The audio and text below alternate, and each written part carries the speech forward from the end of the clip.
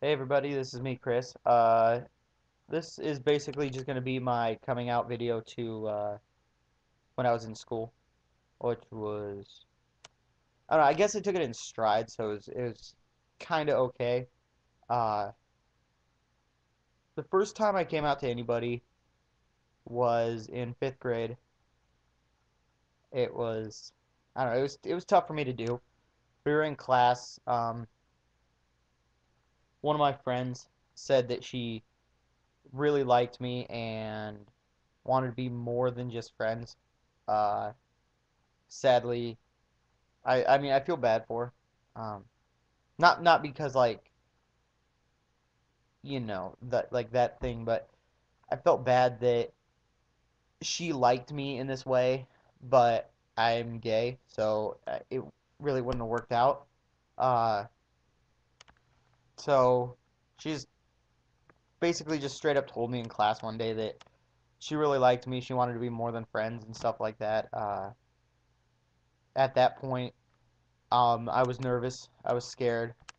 Um, but I knew out of all my friends at the time that she would understand.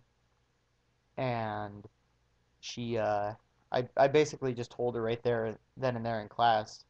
I wrote it down on a piece of paper and I handed it to her. And she read it and she just just stared at me for it felt like forever, but it I don't know, it was probably just a minute or so. Um, and then she asked if I was sure. I said yes. Um, I don't know. She was she's a great friend. Um, she didn't tell anybody. She didn't say anything to anybody about it. Uh, she just kept it between us two. Um, very supportive about it and whatnot. Uh, then basically I was just I was I felt good after that. Made me want to uh, tell more people. However, I didn't at the time. Uh, then I started coming out. I came out a little bit in 10th grade. Um, so a whole five five grades after that or whatever. About five years, a little over five years or whatever. Um, then I came out to like three friends, I think, in 10th grade, and they, they kind of knew and they didn't say anything about it, which was also cool. Um, 11th grade, I started coming out more and more um, to my close friends. I was friends with a lot of a lot of hicks in school and stuff like that, and so it was kind of kind of difficult to come out, I guess you could say, because their views on homosexuality and stuff. Um, but 12th grade, I said, screw it. I'm going to put it all on the line and see what happens. And so, 12th grade, I came out uh, to all my friends whatsoever. And a lot were a lot were fine with it. There was some hick friends that I had that weren't okay with it, of course. Um, which sucks because I mean, some of those some of those people I were friends with, they were Hicks. I've been friends with since kindergarten, and so it's we had a you know we grew up together, and just I don't know it sucks, but uh, I told them. They thought I was joking at first. They're like, oh, quit quit messing around. Um, then I proceeded to tell them no, it's the truth, and it seems like just in seconds things changed. Um, basically, like I was, I don't want to say I was the talk of the school, um, but a lot of people knew, and I'd hear people like saying stuff in the hallways and stuff like that. And did you hear that he's gay and stuff? It, it, it was fine. I didn't have a problem with it. Um, the Hicks though, I mean, I was I was still being nice to them, and I still am to this day. I don't I don't have a problem with them. Um, their views are their views, of course, but uh, I with like you know just just nice little things I guess you could say. Just hold the doors open for them, ask how they're doing and stuff like that. And it was just constant. Uh, you're a fag and stuff like that. Just hate, hateful stuff. Um, I was told to watch my back numerous times. Um, I was told by kids that they were gonna kill me for being gay, and I just sort of shrugged it off. I mean, I was I'd say I was a little scared, yeah, but it wasn't anything I haven't heard before. Uh, just that kind of stuff.